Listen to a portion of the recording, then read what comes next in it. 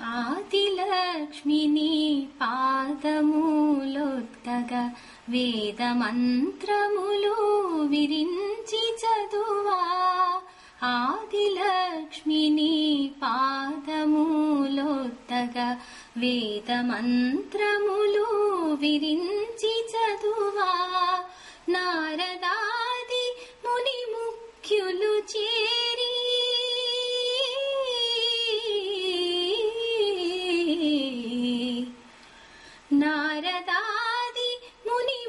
సఖ్యులు చేరి మోదమలర నిను గానము సేయగా పాలకడలిపై శేషతల్పమున పవళించేవా దేవా?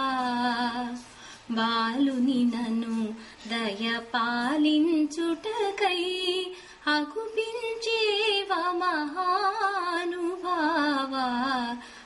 పాలకడలిపై శేషతల్పమున పవళించేవా దేవా